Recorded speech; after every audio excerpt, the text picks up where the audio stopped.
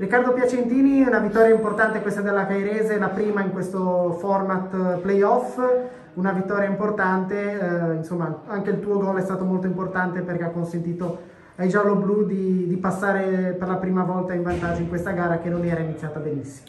No, hai detto bene tu, è stata una gara complicata perché dopo un buon primo tempo, come ci era già capitato in altre occasioni, ci siamo ritrovati sotto, e nonostante avessimo condotto noi la partita fin dall'inizio, poi recuperarle certi tipi di partite è sempre un problema. Siamo stati bravi a rientrare subito dall'intervallo con il piglio giusto e a ribaltarla subito nei primi dieci minuti. Poi diciamo che sulle ali dell'entusiasmo, con gli spazi che si sono creati, l'abbiamo chiusa definitivamente abbiamo portato a casa i tre punti che, che penso meritassimo, ecco, anche per eh, le due precedenti partite in cui ci eravamo comportati molto bene ma avevamo raccolto solo 2x e, e quindi ci, ci godiamo questa, questa, prima vittoria.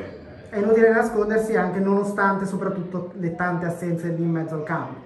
Assolutamente, assolutamente. Cioè, questo format secondo me comunque è molto limitante perché con la doppia munizione, cioè con due gialli eh, scatta la squalifica e ogni domenica eh, devi fare i conti sempre con eh, più di un giocatore squalificato. Quindi non era facile per come ci siamo arrivati, ma ogni ragazzo che fa parte di questa squadra ha dimostrato ampiamente di poterci stare dentro. Il problema è che la Cairese ne prende parecchi di gialli.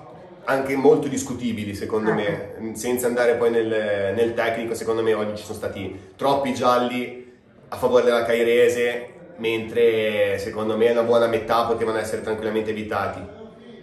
Ecco, dal punto di vista personale sei tornato al gol, una prestazione comunque importante, che giudizio ma fare gol fa sempre piacere, come hai detto te poi è stato un gol importante perché ti ha consentito di andare davanti però diciamo che la nota lieta di giornata secondo me è tutto il reparto offensivo che è riuscito ad andare in gol, non ero l'unico ad aver avuto problemi fisici durante l'annata e oggi siamo andati a segno tutti quanti, a parte Chicco, a parte Beretta, che comunque anche lui ha dimostrato di essere molto molto importante per la nostra causa.